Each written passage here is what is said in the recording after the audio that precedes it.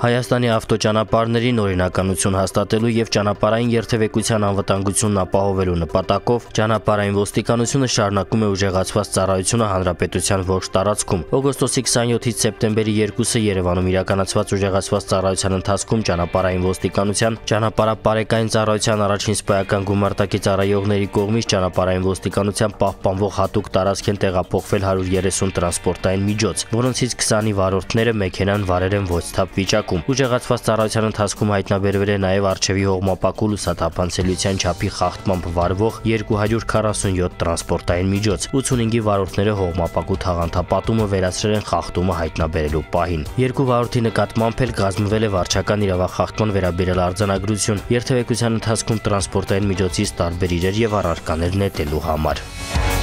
Օգոստոսի 26-ից սեպտեմբերի 2-ն էլ ուժեղացված ծառայություն են իրականացրել ճանապարհային ոստիկանության ճանապարհապարեկային ծառայության երկրորդ սպայական գումարտակի ծառայողները։ Նրանք պահպանվող հատուկ տարածք են տեղափոխել 54 տրանսպորտային միջոց, որոնցից 22-ի վարորդները մեքենան վարել են ոչ թափ վիճակում։ Ուժեղացված ծառայության ընթացքում հայտնաբերվել է նաև թաղանթապատված հողմապակիով 169 տրանսպորտային միջոց։ 21-ի վարորդները խախտումը վերացրել են հայտնաբերելու պահից 24 ժամվա ընթացքում։ 17 տրանսպորտային միջոցի վարորդ երթևեկել է ժամկետնանց ապա պայմանագրով 3-ը փոխարինված հաշվառման համարանիշերով։ 5 վարորդի նկատմամբ էլ կազմվել է վարչական իրավախախտման վերաբերյալ արձանագրություն երթևեկության ընթացքում տրանսպորտային միջոցից տարբեր իրեր եւ առարկաներ նետելու համար։